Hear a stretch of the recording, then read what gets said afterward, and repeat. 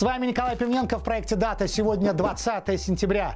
И сразу о родившихся. 1778 год. В этот мир приходит Фадей Фадеевич Беленсгаузен, мореплаватель, участник первого русского кругосветного плавания, руководитель первой антарктической экспедиции на шлюпах «Восток» и «Мирный», во время которой был открыт Белый континент. Произошло это в 1820 году.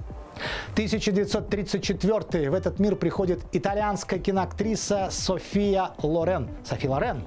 Она была незаконно рожденной дочерью неудавшейся провинциальной актрисы и актера передвижного театра. В 14 лет она становится финалисткой конкурса красоты «Мисс Италия», где привлекает внимание продюсера Карла Понти, за которого впоследствии выходит замуж. Благодаря его покровительству София занималась актерским мастерством в Национальной школе кинематографии фотографии. Первые роли прошли фоном. Ну а заметным успехом Лорен становится роль Аиды в одноименном фильме-опере в 1953 году. Ну а в итоге награждена призами Канского, Венецианского три раза, Московского два раза, Берлинского кинофестиваля. Пять раз была лауреатом премии «Золотой глобус», лауреат премии «Бафта», «Сезар», Давид Ди Донателло аж девять раз и многочисленных других. 1963 год. День рождения Андрея Державина, советского и российского музыканта, певца, композитора, аранжировщика, лидера группы «Сталкер». Ну, песни вы все, конечно же, помните «Не плачь, Алиса», «Чужая свадьба». А также он работает клавишником группы «Машина времени». О событиях дня 1378 начинается многопапие. В итальянском городке Фонди французы пролоббировали избрание папы кардинала Робера Женевского под именем Климента VII. В самом Риме ранее уже был провозглашен другой понтифик – итальянец Урбан VI. Так, сразу же после печально известного авиньонского пленения пап начинается 40-летний Великий Раскол, когда одна часть католиков, французы, испанцы, неаполитанцы, шотландцы признавали одного архипастыря, а вторая, англичане, венгры, большинство немцев, другого. Папы-соперники разъехались в Рим и Авиньон соответственно. И опять принялись насылать друг на друга войска и отлучать от церкви. Попытка же примирить два лагеря на соборе в Пизе в 1409 году привела к избранию третьего папы Александра V. Лишь в 1417 удастся найти кандидата, который устроит всех. Одо из рода Коломма. Он примет имя Мартина V. 1764 год. Подпоручик Семеновского полка Василий Мирович приговорен к смертной казни. Этот 24-летний офицер организовал дворцовый переворот, целью которого было освобождение заключения Ивана VI Антоновича и низложение Екатерины II. Заговор раскрыт, а Иван Антонович в ночь с 4 на 5 июля по приказу императрицы был убит офицерами внутренней стражи.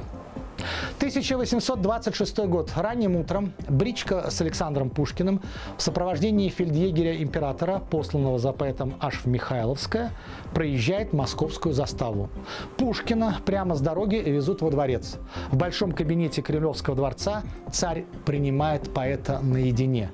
Их беседа продолжается два часа. Об этой встрече в тот же день Николай I отзывается знаменитым высказыванием «Я нынче долго говорил с умнейшим человеком в России».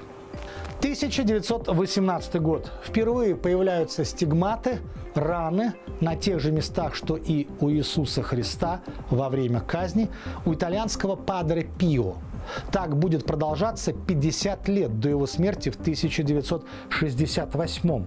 В начале прошлого века католическая церковь была скептично настроена ко всевозможным чудесам.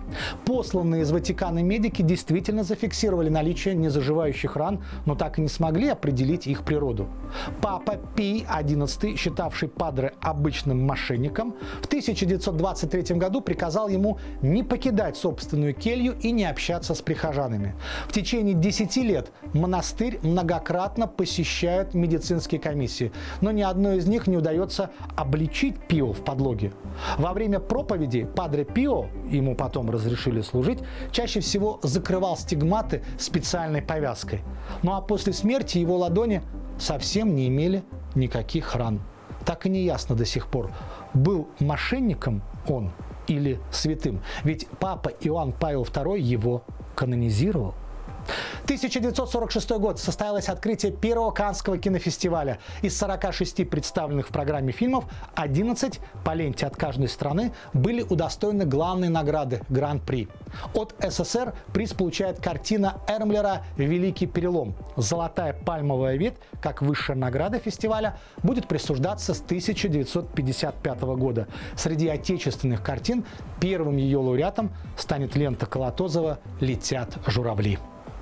2002 год. В результате неожиданного и катастрофически быстрого схода ледника Колка на склоне Казбек Джамарайского массива в Северной Осетии погребенными под миллионами тонн льда, снега и камней оказались люди из строения в Кармадонском ущелье. Свыше 100 человек пропали без вести, среди них состоявшая из 26 человек съемочная группа фильма «Связной» во главе с ее руководителем, киноактером Сергеем Бодровым-младшим. Спасательные и поисковые работы оказались безрезультатными. 2005 год. В Москве умирает Юрий Айзеншпис. Окончил институт по специальности инженер-экономист. В 70-м арестован и осужден по статье «Нарушение правил о валютных операциях». Провел в заключении целых 18 лет. Потом работал в творческом объединении «Галерея» при горкоме комсомола, организуя концерты молодых исполнителей.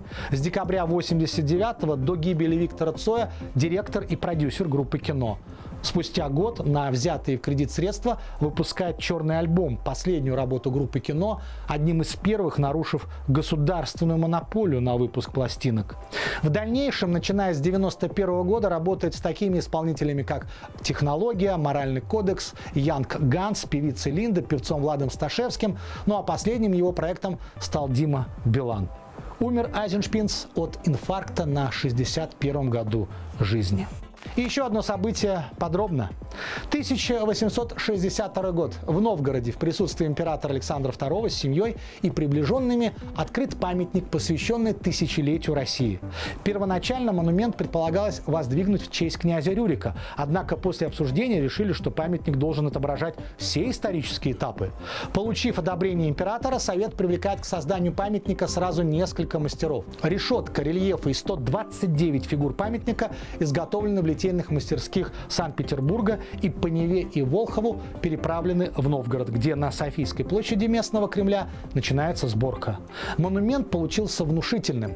По основной композиции памятник воспроизводит шапку Мономаха, эмблему самодержавной власти Российской империи. Он состоит из гигантского шара державы на постаменте, и таким образом авторам удалось объединить два важных символа российской и новгородской истории – атрибут власти царя-самодержца и вечевой колокол. На памятнике нет фигуры Ивана Грозного. Было решено, что помещать его в Новгороде неэтично из-за прославленного разгрома города царем и казни бояр.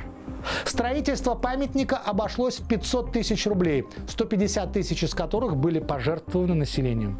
В последний момент в горельеф пришлось добавить фигуру Николая I. 15 августа 1941 года в Новгород входят немцы. Памятник разобрали. Железной дорогой успели увезти бронзовую решетку работы профессора Боссе, окружавшую памятник, а также бронзовые фонари художественной работы, которые стояли вокруг него.